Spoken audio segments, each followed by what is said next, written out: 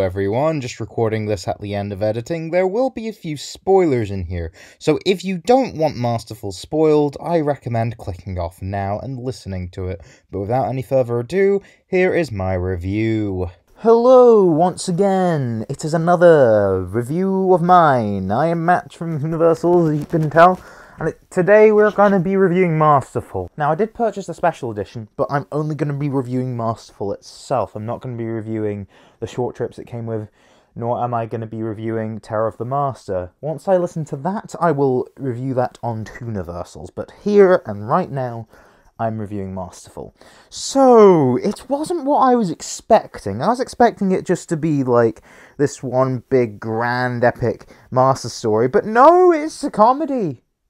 I mean, sure, there are serious moments in it, and uh, certainly Geoffrey Beevers' thread was very much serious, and so was Alex Macqueen's in a way, but it was really just the master being the master for three hours and different incarnations thereof. Um, so I might as well go through each master individually and see, uh, and just tell you how I feel about them, and then I'll just go over how they are together.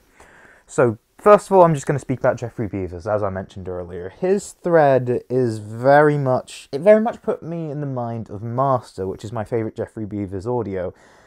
And it's one of my favourite Big Finish audios of all time. I recommend you listen to it.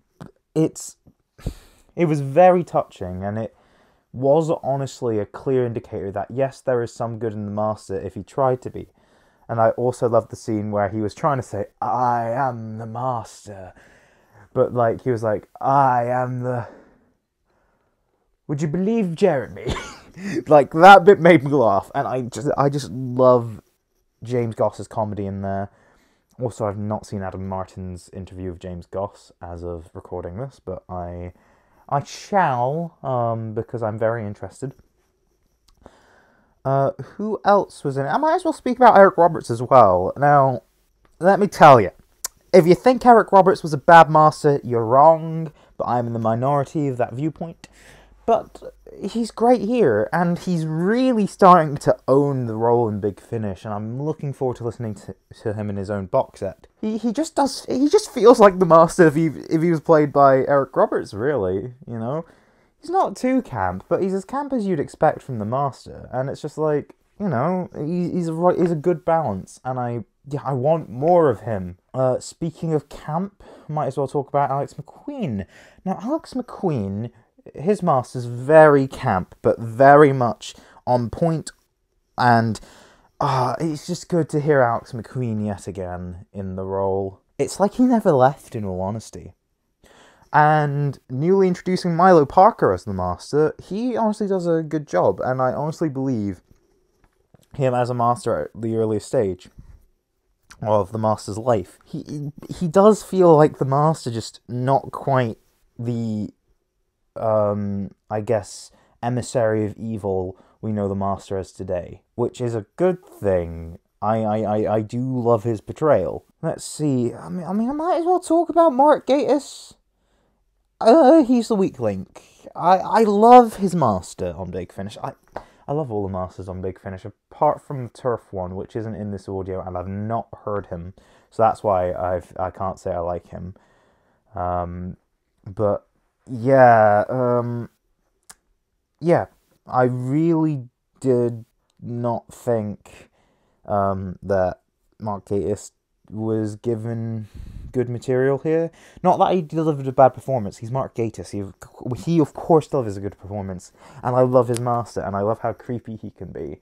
But um, yeah, he's got, he's given good dialogue. I just don't think he was in it enough. And like half the time he was in it, he was snogging Michelle Gomez's incarnation, and that weirded me out. In all honesty, but Michelle Gomez's incarnation, apart from the snogging, was excellent. I honestly think she was the strongest performer here because her version of the Master uh, is more wacky by design rather than execution.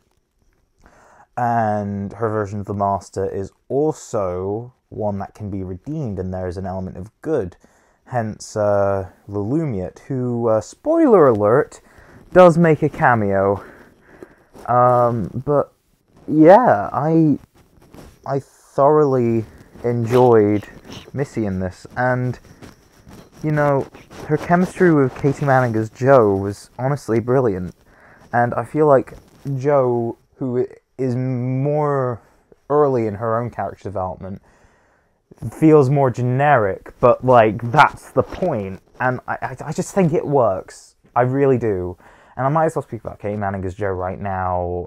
Um, she was very well utilized, and I, I, it's good to hear Katy Manning. You know, she's a very comforting voice to hear. Speaking of a comforting voice, uh, Derek Jacobi is obviously great, and like he he he he just turns amazing material into something that we mere mortals do not deserve he like he is my favorite master, and although he wasn't my favorite performer in this audio, he, he was my second favorite because he's Derek Jacobi. He's my favorite master. There's not really much I can comment on other than I love the character trait that he's just obsessed with wine, even to the point where, again, spoiler alert, he actually drank wine. He poisoned himself because he does not want to waste the wine, and that's just fucking amazing, and I love it. And finally, let's speak about John Simm as the Master. And although I don't like his Master conceptually, um, like, I mean, he can deliver a good performance, so he's not like the worst Master ever.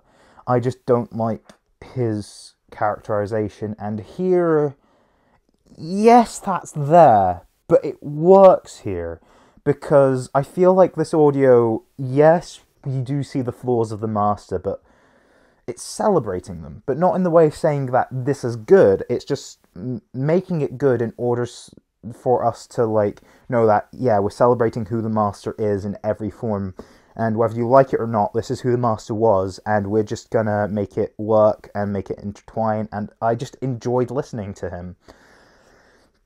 Sure, I don't like his zaniness, his arrogance, and just his Tennantisms, but he I can't deny John Simm delivered a good performance here. Cause he did deliver a good performance. Just because I don't like the character does not mean an actor cannot deliver a good performance. Just look at Jenna Coleman. But yeah, um anything else? I mean all the side characters are great, but I must talk about how Kamelion was used.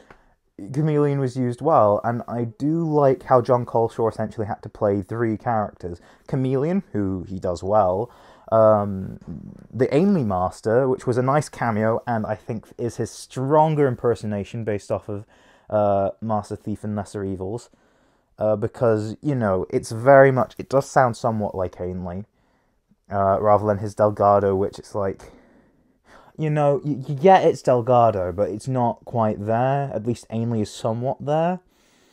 And then he also played the Third Doctor. Uh, well, Kamelion as the Third Doctor.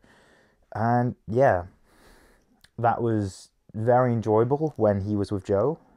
And yeah, I I honestly think Kamelion was used really well here. And I've not listened to any other Kamelion audio, but um, Kamelion was used way better here than on the TV series. And I do really like how Kamelion and Jo are here because they're two characters that are heavily tied with the Master, that aren't just.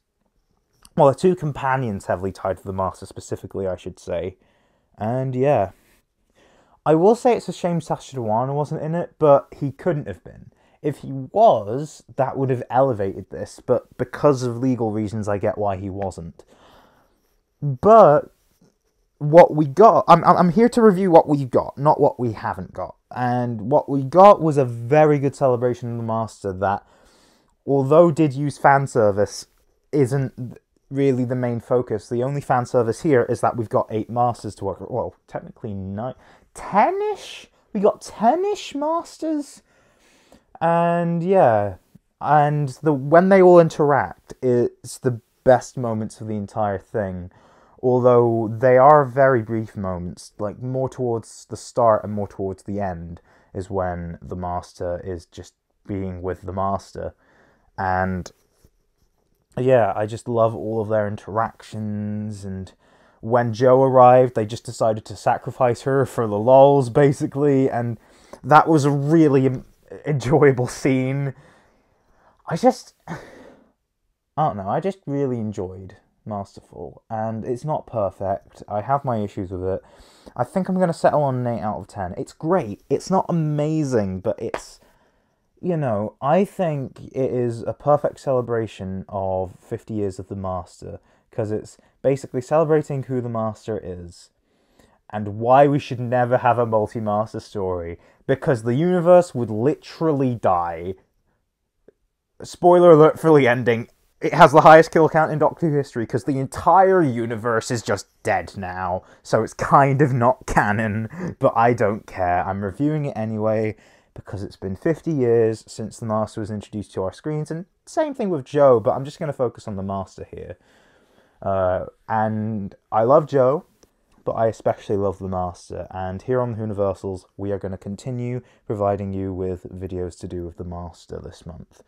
I hope you enjoy and I shall see you in my next Master Month video where I'm gonna probably regret trying to make it. I hope I'll get it out within the month this time, unlike, you know, my Matt Smith videos.